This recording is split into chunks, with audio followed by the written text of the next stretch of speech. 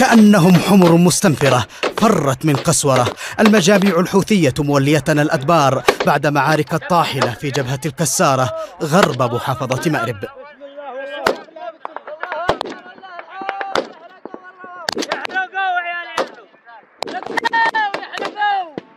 ولم ينفعهم الفرار من الموت فكثيرة هي الأفواج الحوثية التي تنبطح أرضا بعد أن كسرت بنادق الكسارة أقدامها. وتلك هي المسيرة الحوثية. لا تستطيع السير. تحولت مجاميعها من زحف عسكري إلى زحف على بطون الصارخين.